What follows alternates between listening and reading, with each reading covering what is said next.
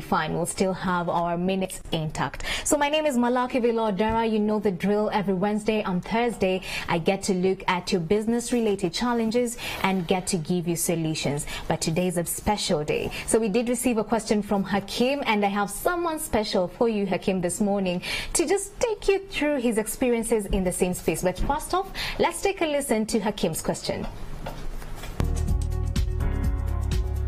Good morning, morning at NTV. My name is Agiga Hakim. I am trying to start up a business. I want to buy a plotter machine and a heat press. Now, I tried purchasing it on some local online shop. They gave me a price, but actually I'm going to consult them. The price that they've given me, not it is not an actual price. The price had to double. After doubling, I had to decide whether buy one machine or save to get all of them. Now I want to know from you people how would you advise me? Should I still save or buy one machine then save to get another machine? Thank you.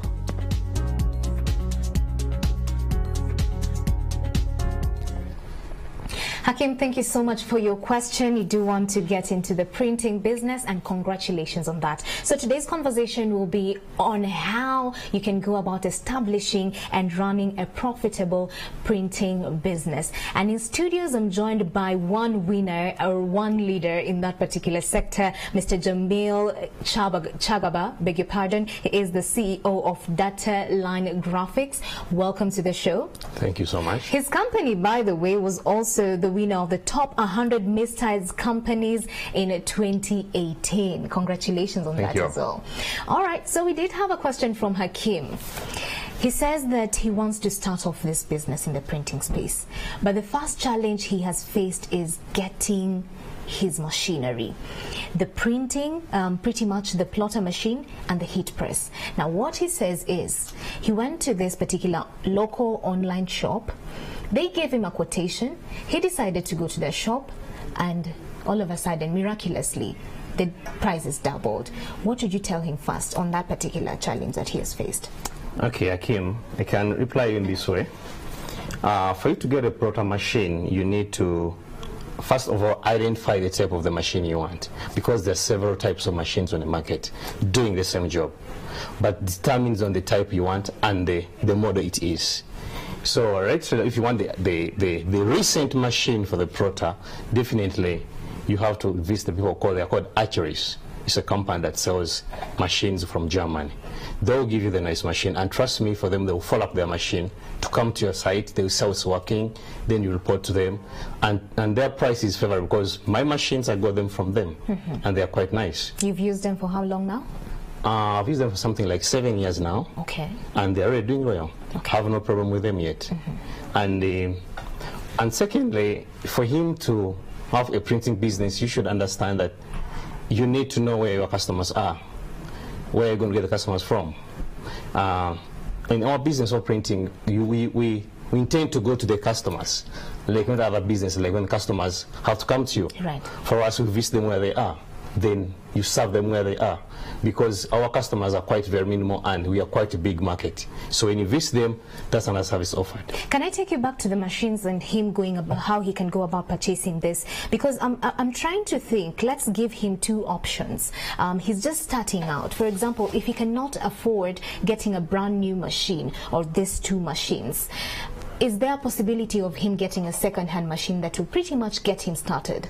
Sure, I can. Okay. There, there are used machines in German where there, there are some dealers who can sell them to you.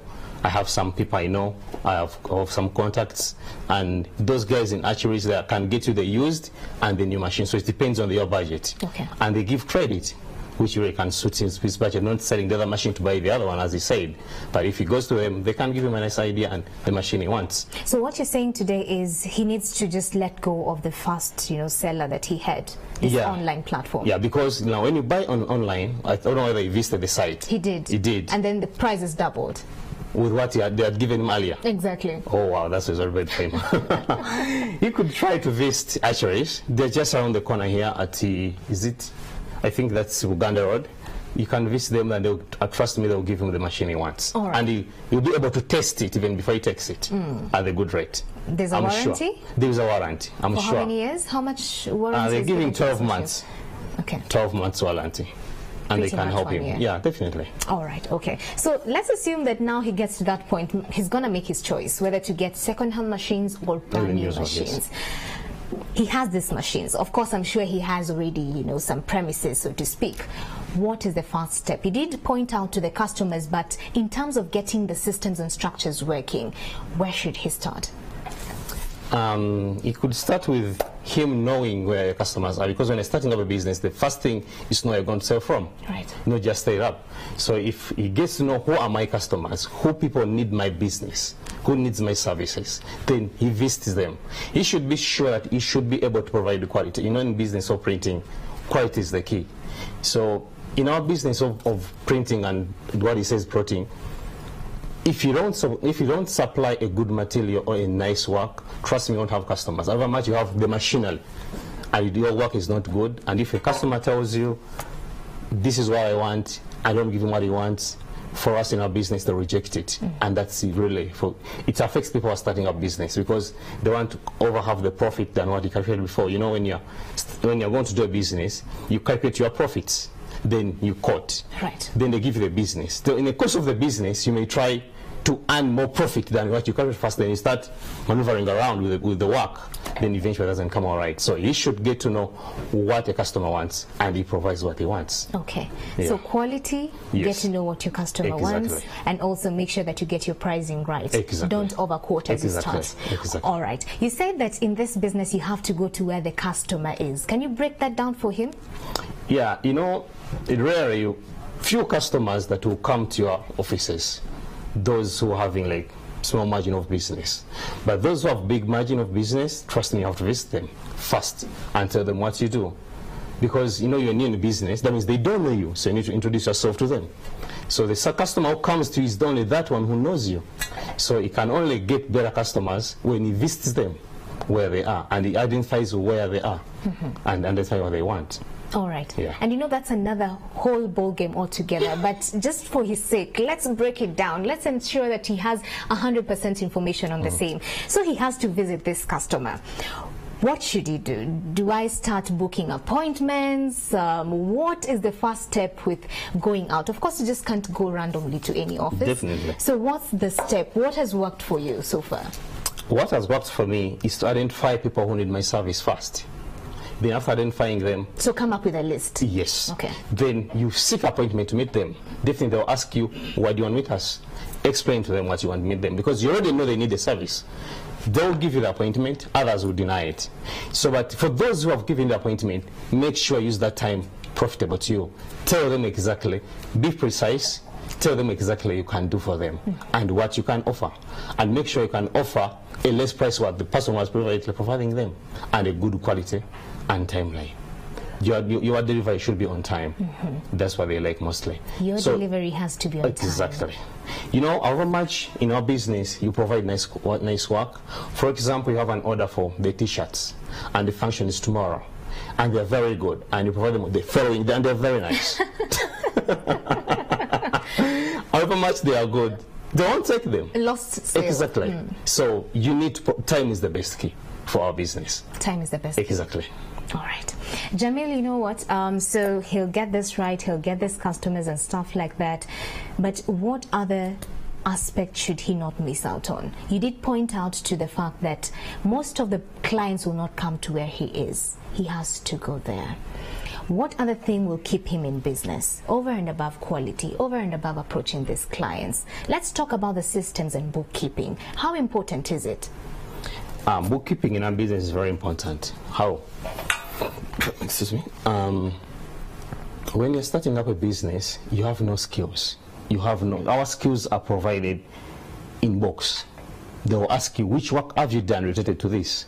So if you don't keep your records, trust me, you have no proof of that. And customers always want to deal with a person who has capital, who can do their work on what they call like a purchase order. You'll be able to deliver on time without telling them, I have no money. So they want to see your records of finance, how, how good you are.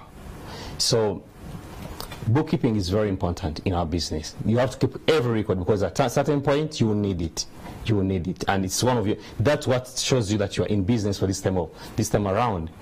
If you don't have no records of your business, definitely they won't give you business because they have no proof that you have been there for all that long. Right. Yeah, Okay. So make sure that every coin is accounted for. exactly. record every single Exactly. All right, okay.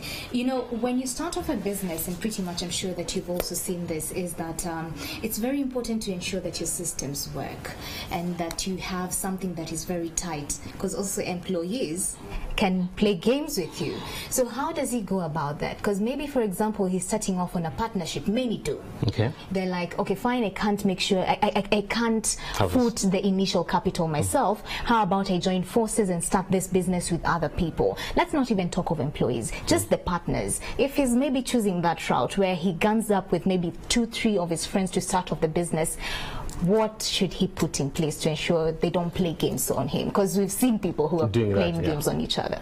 um, for him to to start up a business with partnership grounds, you should get to know that you have the one, one aim with all the partners. You are aiming at developing the business, not getting out of the business. You know, there are times when the business you have to support it and you don't get a pin out of it, but you are supporting it to grow.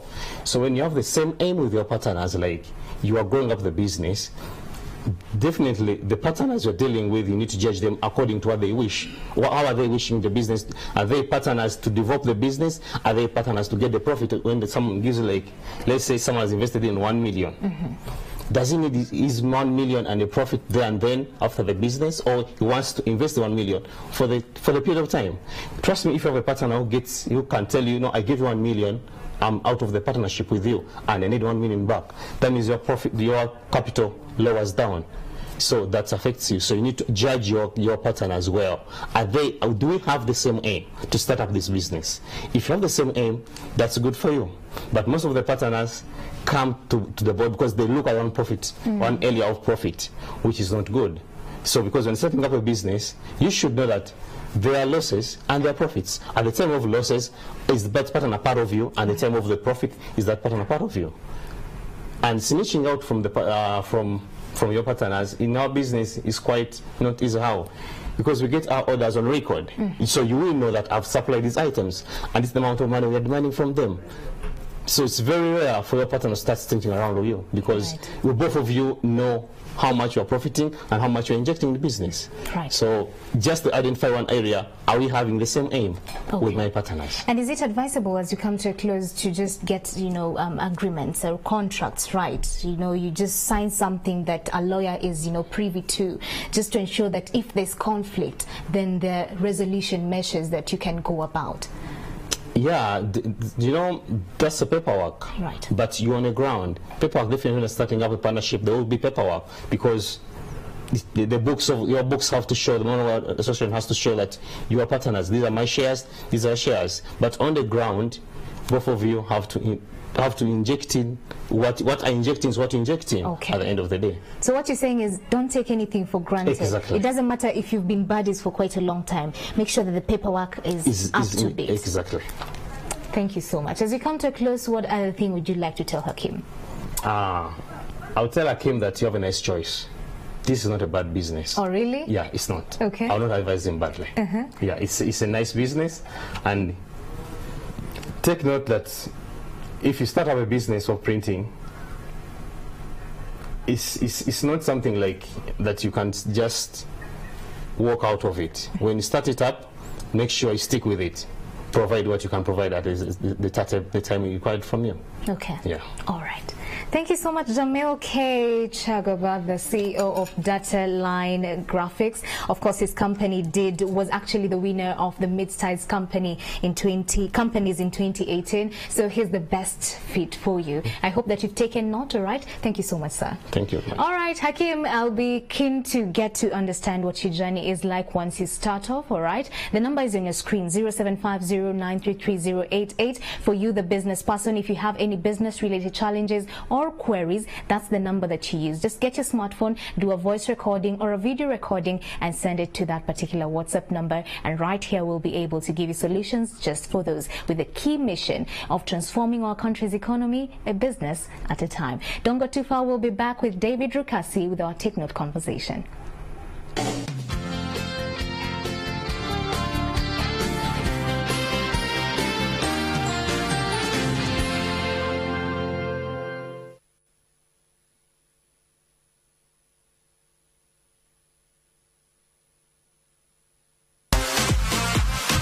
How was Gulu for you? Gulu has been blazing hot, no doubt about that. And the dance auditions have been steaming hot. This week.